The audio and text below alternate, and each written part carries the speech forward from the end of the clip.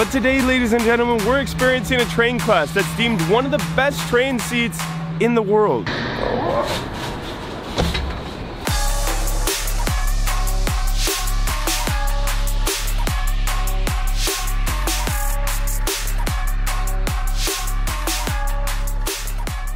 Hello everybody and welcome back to China. Now while traveling to China you discover things that you never would have imagined. Cashierless supermarkets in almost every major city to robot hotels to of course the highest technology of trains in the world. China is truly the place where anything can happen. So right now I'm gonna grab a taxi, head to the station, and let's get this adventure started.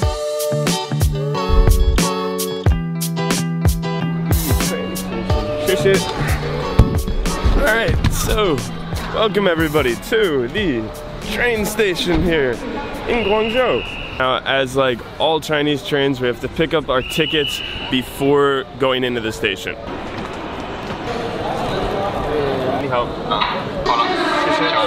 Now, when you take a Chinese train, you tend to show up about an hour before, just in case the waiting times are crazy. And for most people, they wait in waiting rooms like this one, which I'm not gonna lie, is not that comfortable. However, with this ticket, you get to go to a fancy, exclusive, only this ticket class lounge.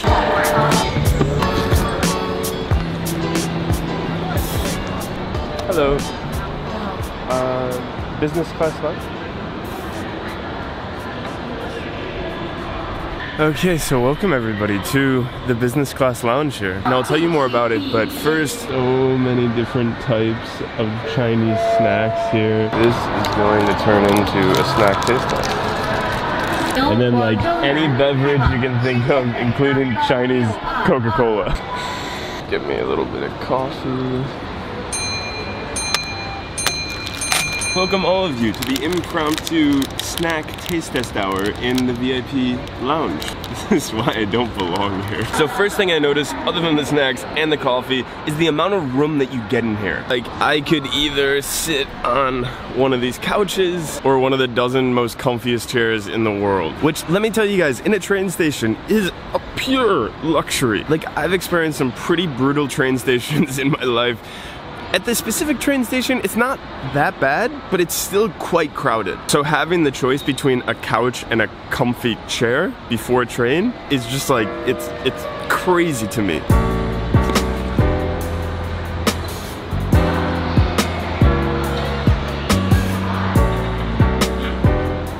Everybody keeps looking at me and wondering why I keep changing seats. I, I don't think there's ever been somebody like me here. reading material, Wi-Fi speed, green thing. Oh yeah, it's a kind of mochi. Now second thing is the functionality of this lounge. Per train, there's three to four different classes. One being like the lowest of the low economy. And the first three classes, they sit outside. I've never felt like such a baller in my life. sit outside. And the top class, the class that I'm taking today on this ticket, obviously sits in the business lounge. So with that said, while I'm eating my green peas here, I'm gonna do what most of the other people are doing in this lounge, which is drink coffee and get a little work done.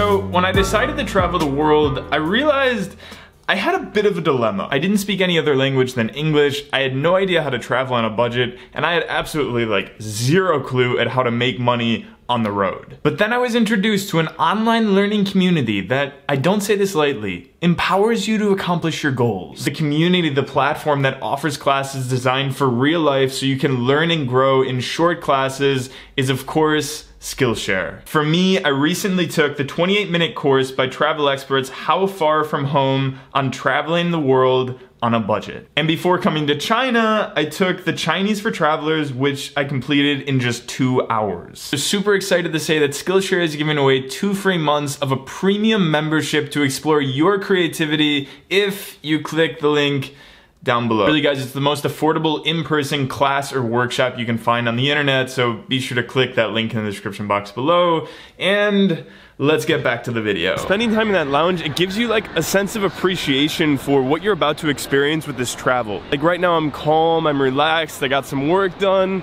and just strolling to my gate.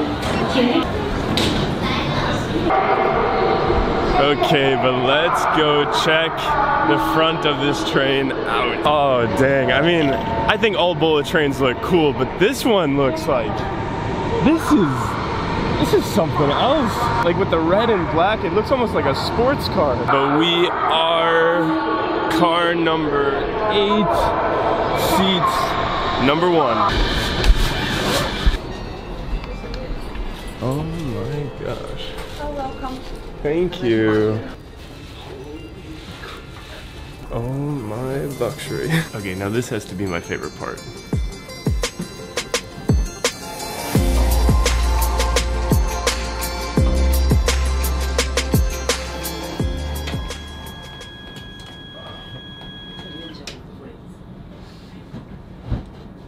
Insane.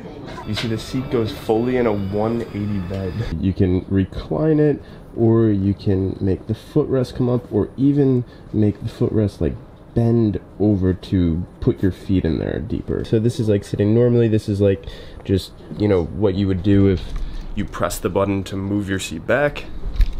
And this, ladies and gentlemen, that is the sleeping feature. Now, in terms of the seat itself, it's a leather seat with a super comfortable pillow. The seat honestly feels more like a pod than it does a seat. And it also looks like one too. Like I've seen some seats at the Abu Dhabi airport that's like called a capsule that covers you. And this, this is like the exact same thing, just without the cover. This seat honestly feels like a tiny home than it does a train seat.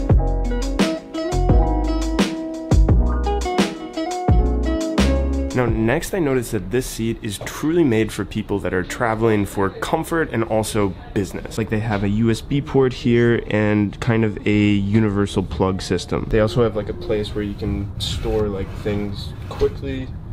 A table for working or eating, which we'll definitely use for both later. And of course, the reading light. Goodbye, Guangzhou.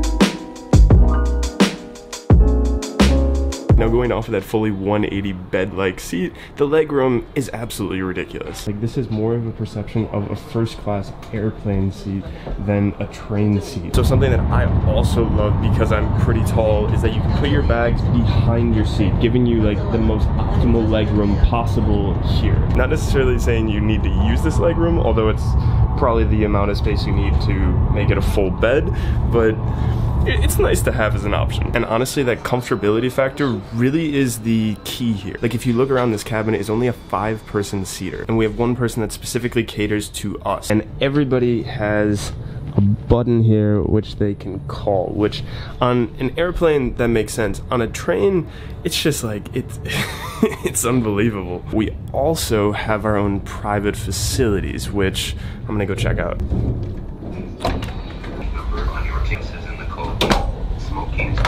So actually the classes, how it works is first class is the second class and business class where I'm sitting is the first class. And then economy is second class. So first class and business class both share the same bathroom. And if you look at this bathroom, like it's, it's, you know, it's what it is. Like it, it's a normal toilet, normal sink.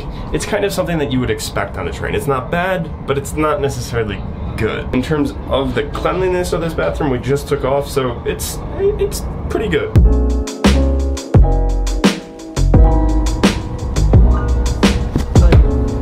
Thank you. Ah, thank you very much. So we have just taken off here and they brought me a bunch of goodies.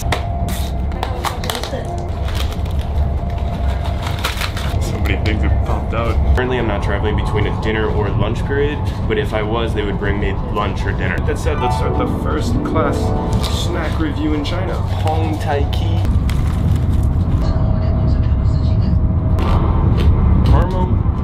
Pretzel crunch. Some sort of like ginger candies. Those are not ginger candies.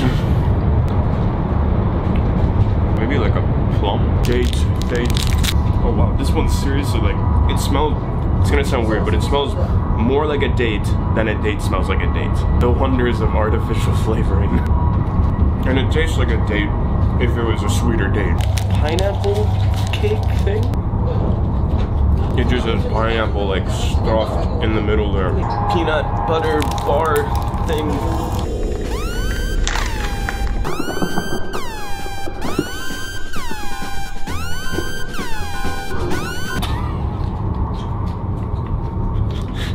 I don't belong here.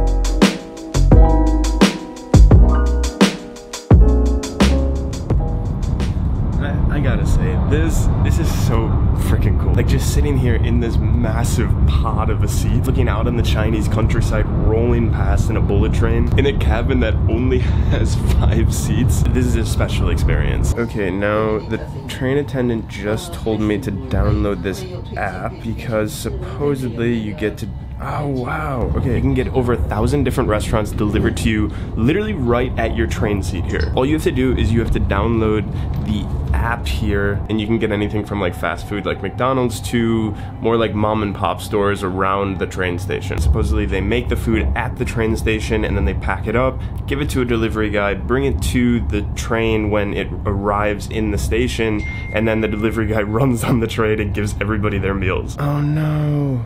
I'm crying. I think I might be a little bit too late on ordering mine.